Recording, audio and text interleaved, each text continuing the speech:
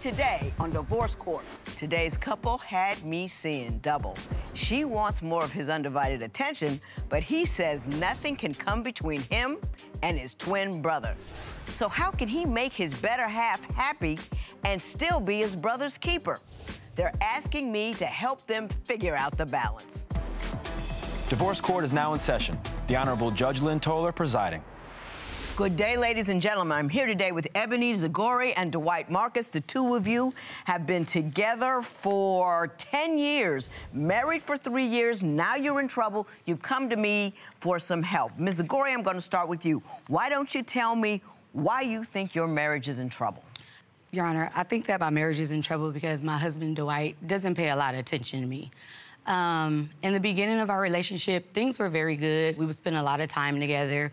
Now he likes to uh, have a lot of company and a lot of friends over. For instance, uh, my birthday was earlier this year, mm-hmm. and we planned to have an evening at home. I had cooked dinner, had the kids to bed. Now I don't know if he did this intentionally, but his friend came over, and then they started playing video games. And at that point, I'm like you know, I did all of this, you know, for us to spend a nice evening together, and you just totally messed it up. So instead of having an argument about it, I just went and sulked in my bed by myself. Mr. Marcus, did you come up light on her birthday? Yes, Your Honor. Okay. And what was going through your mind at the time? Uh, pretty much, you know, everything, stress, you know, that's why, I mean, I called him over on purpose. Why did you call him if you knew it was her birthday and she had plans? I think it was just a whole lot of stuff built up because for, I'm gonna give you a, a prime example Tell of me. on Father's Day. You know, she just up and just left me at the bus stop. You know, like over a little argument because I lost the, at the gambling shack that night before. You're not telling me you hurt her feelings on her birthday on purpose because she hurt your feelings on Father's Day? Yes. Holy moly, macadoli, pudding and pie. You're a grown man. You, you got in a fight about, you know, gambling away money, which women will fight with you about if that's what you're doing. And and you did this? Okay. Tell me any other stories that would lead me to believe that he ignores you. When we do go out, um, he engages conversation with like other people. Um, like say for instance, if the game is on, you know, he'll be talking to somebody at another table about the game, and we rarely go out. So I'm like, when we are out, I would prefer that you pay attention to me and that we spend this time together. But you know, he always makes it an issue when I try to bring those things up to him. Okay. Mr. Marcus, your response to that, is she overreacting? Yes, she is.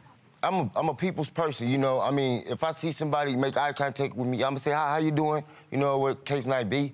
Of course, if the game on, you know, me and this guy likes the same team, you know, I'm gonna collab with him a little bit, you know. Are you more friendly with everybody else than, than your main your main thing right there?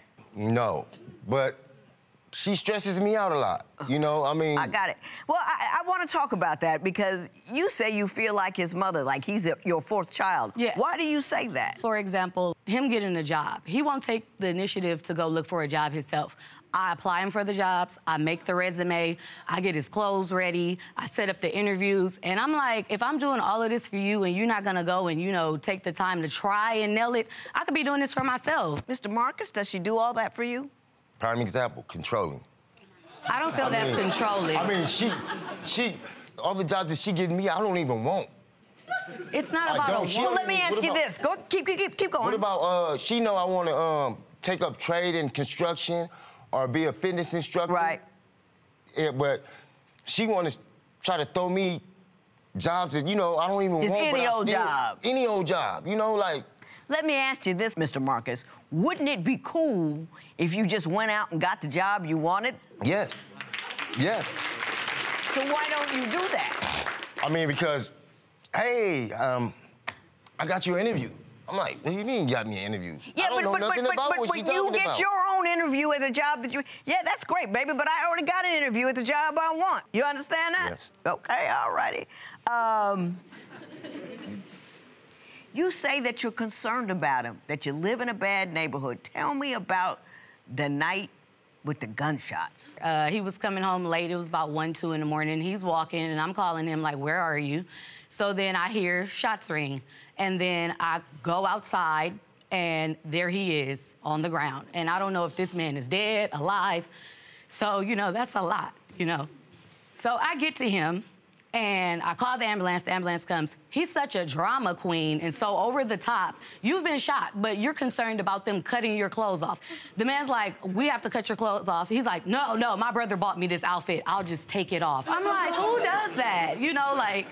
Mr. Marcus, were you laying on the ground shot, Yes. but did not want to have your clothes cut off of you? Yes, Your Honor. You weren't worried about being shot? I was already shot. This is true. He has a good point there. Can't fix that. You, you, you're going forward. You wanted to control how it went. Do you understand that she's concerned about, you know, your goings on? I mean, do you believe that you lead a lifestyle that would lend to getting shot? Yes. Yes, he hangs out with a lot of the wrong people in a lot of the wrong places. And I'm like, he tries to make comparisons between me and him. He's like, well, you go out with like your aunt or your dad and things like that, but you know I'm going to But they're safe not out there places. shooting Yeah, people. we're not. Yeah, I got you. I got you. Yeah. I, I, I'm with you. I want to move on to what I believe is one of the most important issues that you have. You have a twin brother Yes, ma'am. with which you have some very interesting history, and your twin brother and your wife do not get along, and that is causing trouble. I actually think she's jealous of our relationship. We started going out a lot together. I guess she started seeing that, that bond coming back with me and my brother. When you say a lot, how many times a week is a lot? Probably seven days.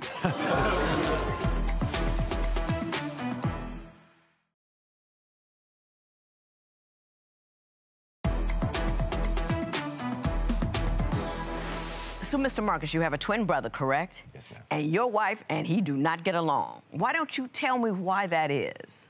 Because I can't go out and can't nobody come in, Including your brother. No, including, no, uh, including him. No. Are you and your twin brother close? Very close. I understand you had a very difficult upbringing. Is that true? We were separated at nine.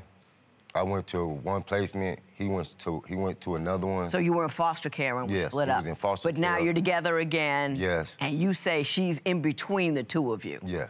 Ms. Zagori, what do you have to say about that? Don't you let your husband see his twin brother? Yes, his brother is allowed to come to our house whenever he wants to. He does come over. He likes to have a lot of company. About four or five days out of the week, he has maybe two, three, four people in our home.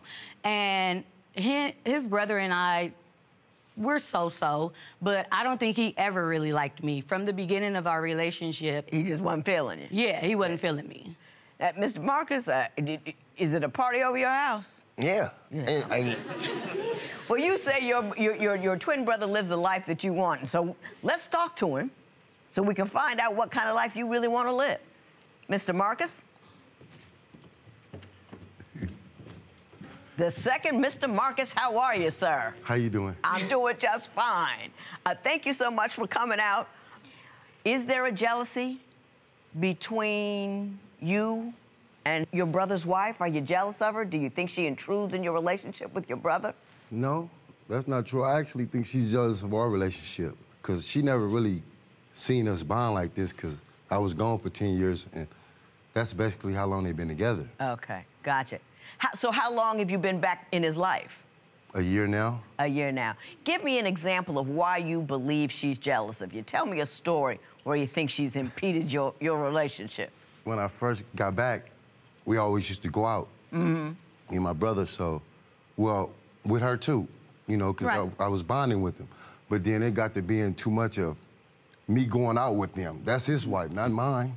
You know, I don't want to go out all the time with her. With her, yeah, you want to be with just her. with your brother sometimes. So once we started going out a lot together, I guess she started seeing that bond coming back with me and my brother, and when you say a lot, how many times a week is a lot?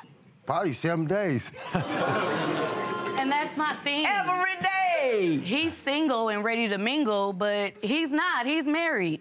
And I'm not trying to come in between their relationship. Mm-hmm. Like, I totally want them to get a bond together. But it's like they're building from the age that they were separated. It's like two big kids. Yeah. You say he's single and ready to mingle. Are you afraid that the other Mr. Marcus is going to have your Mr. Marcus behaving as if he is single as well. Yes, and that's basically what it was. I'm like, it's cool to go out with your brother, but we have three kids. You know, you're married. Like, you can't live the same life that he can live.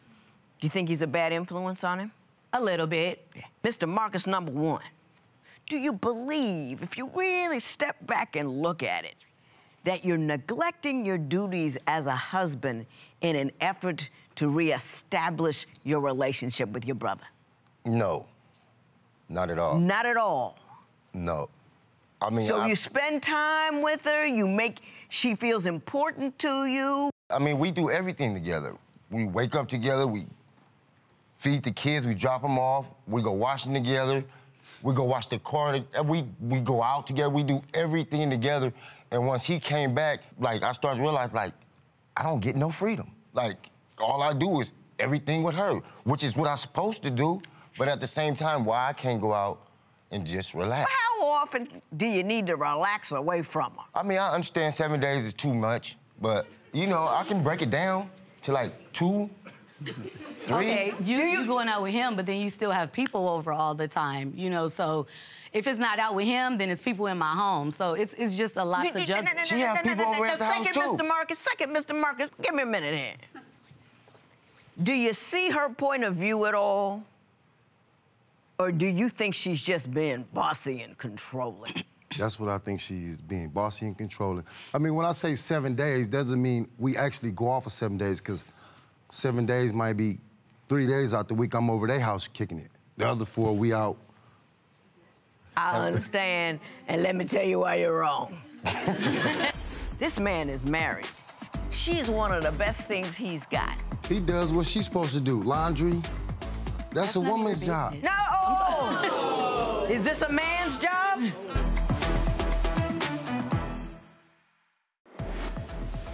How often would you approve of your spouse going out without you? Tell us what you think at Divorce Court.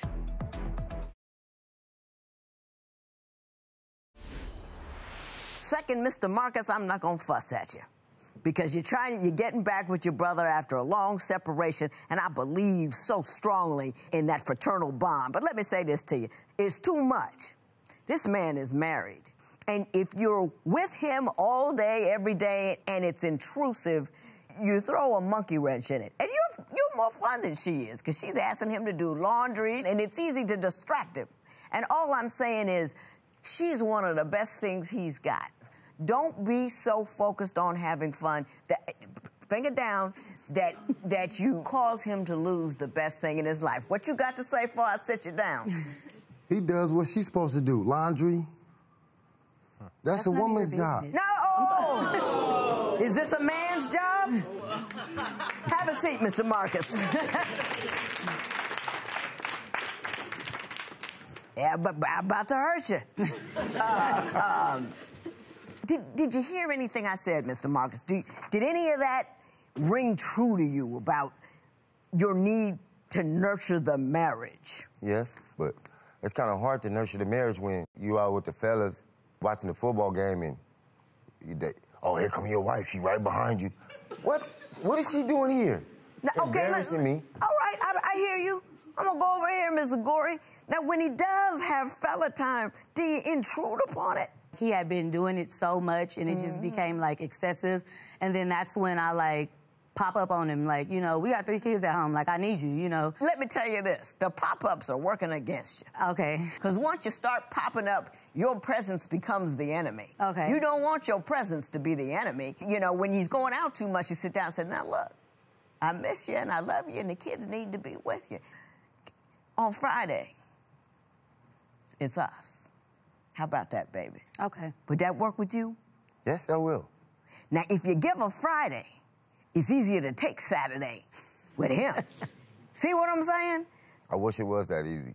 Oh, but it is. I'm telling her to change, and then I'm telling you to change behind No, that. it's easy for me. I'm not talking. I'm talking about. I wish it was that easy for her. but. I'm telling her what to do. Did you hear me tell her what to do? She's not gonna listen. Yes i am She gonna do the same. thing. I just want thing. them to understand, like, for the last 10 years, you know, it's just been me and him. So, him coming back and now they're twins, you know, I feel like he's in a middle of a tug of war between me and his brother. Mm-hmm. And it's like certain situations, like I wanted to go to San Diego, and I'm mm-hmm. like, tell your brother, bring whoever, you know. And he tells his brother, and his brother's like, oh, I don't want to go. So he's like, oh, I don't want to go. And I'm like, man, like. Oh, Mr. Marcus, did you do that? I didn't do it the way she's saying it. So you, but, but in, in, in the end, you did it. She, she already had the attitude once he bailed out. It was over. It wasn't you know? about him bailing out. You bailed out after he bailed out. She wasn't mad that he bailed out. She would love to have you to herself. She was mad that you bailed out behind him. You see what I'm saying? I like you people. I'm gonna help you out. What would you do if your spouse made their sibling their top priority? Share your opinion on Twitter and Instagram at Divorce Court. Divorce Court will be right back.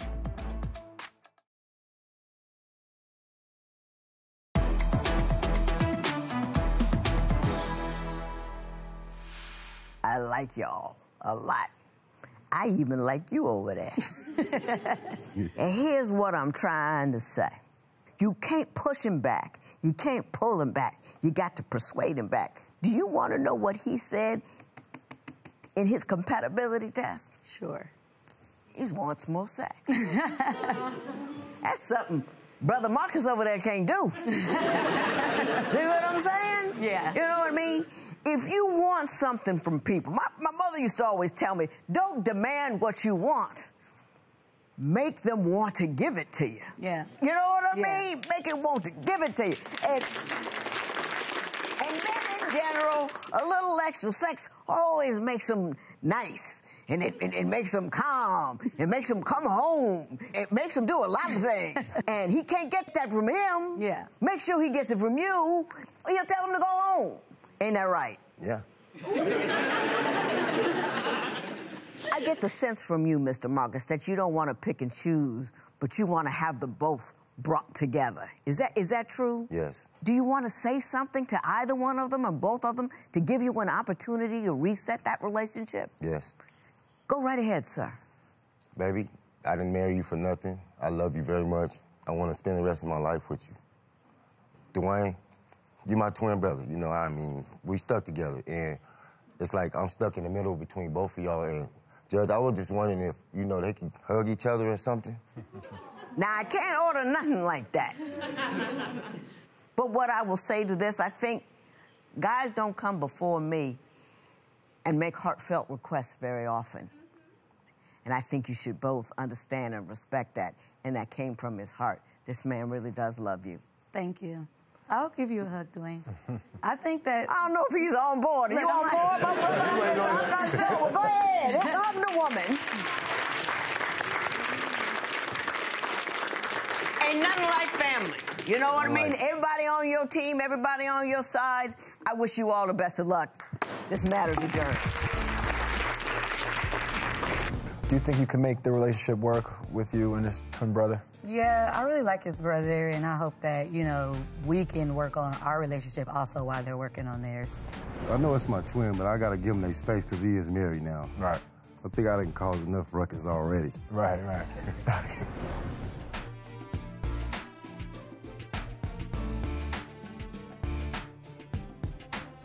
Since we came to court, everything's been good. Um, our relationship has gotten better. We spend a lot more time together. And, you know, even this guy right here has given us our space. I've been staying away. I'm giving him two days out the week, maybe three every now other week. Everything's great now.